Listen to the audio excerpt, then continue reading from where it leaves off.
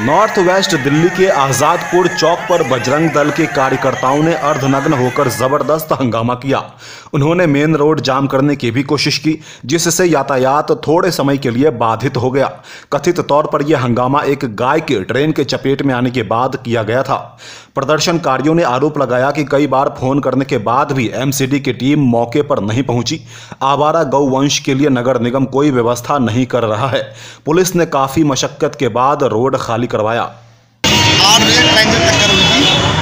उसके बाद में हमने एम को भी कॉल करा, एंबुलेंस के लिए भी कॉल करा।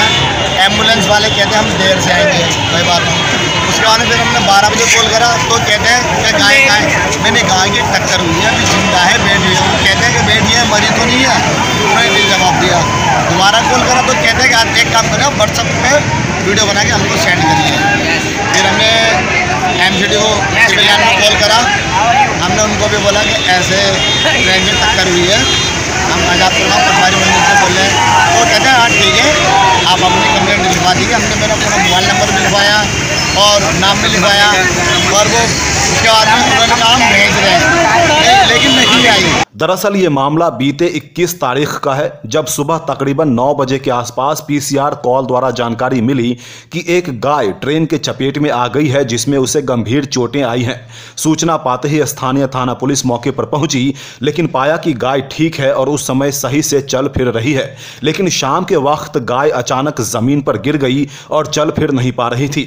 लोगों ने आरोप लगाते हुए बताया कि एमसीडी को कई बार फ़ोन किया गया, परंतु हर बार की तरह इस बार भी एमसीडी का कोई भी अधिकारी मौके पर समय से नहीं पहुँचा, न ही कोई संतोषजनक जवाब दिया। सर, मैंने चार बार फ़ोन करा है और मैंने कंप्लेंट कराई। उन्होंने कहा आपकी आई। मैंने, सर, अभी तक क्यों नहीं आया?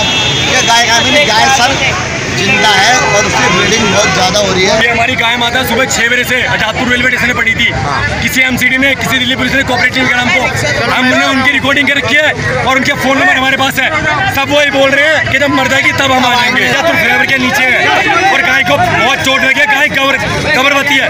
गाय के पेट में बच्चा है। को गाय को किस चीज़ से चोट लगी है? गाय को ट्रेन से चोट लगी है। फिर क्या बजरंग दल के लोग मौके पर पहुँचे और गाय को रिक्शे पर रखकर आजादपुर मेन चौराहे की लाल बत्ती को जाम कर कपड़े उतारकर नारेबाजी करने लगे। मामला फिर पुलिस के संज्ञान में आया। पुलिस मौके पर पहुंचकर लोगों को समझाने में जुट गई, लेकिन लोगों की भीड़ इतनी थी कि जाने का नाम ही नहीं ले रही थी। कुछ समय के लिए यातायात बाधित रहा। काफ़ी मशक्कत के बाद पुलिस ने गाय को इलाज के लिए भेजा और वहाँ पहुँचे सभी लोगों को समझा बुझाकर वहाँ से हटाया। इस बीच एमसीडी के अधिकारियों का मौके पर समय से न पहुँचना अपने आप में उनकी कार्यशैली और मंशा पर अनेक सवाल खड़े करता है। क्योंकि लोगों की समस्या में भी अगर एमसीडी इस तरह की लापरवाही बरतने का काम करती है तो ये अपने आप में एक बड़ी समस्या है। ऐसा है, अभी हम ऐसा हुआ था कि जब हमारी सुनवाई नहीं हुई, वो गाय धीरे धीरे अपने आप को डैमेज करती जा रही थी। फिर हमने अपने जितने हम भाई बंधु हैं सारे इकट्ठे होके उसके बाद हमने क्या करा? गाय को रेडी पर रख के हमने कहा हमारी ऐसे सुनवाई नहीं होगी। असल में रेडी पर रख के हमने रोड जाम करा थाने के सामने जब जाके हमारी सुनवाई हुई है। और दोपहर में चार बजे शाम को चार बजे सौ नंबर आई थी। पुलिस वालों ने भी एसआई ने फ़ोन करा था मेरे ही फ़ोन से। तो उन्हों की भी सुनवाई नहीं हुई। वो कहते हैं हम दूर हैं आ जाएँगे। ये है। अब गाय को कहाँ लेके गए हैं? गाय अब देखिए अब अभी टेंपो में लादा जा रहा है। रख दिया है। अब वो पुलिस वाले कहाँ लेके जाएँगे इसके बारे में हमें नहीं पता। लेकिन गाय ज़िंदा है।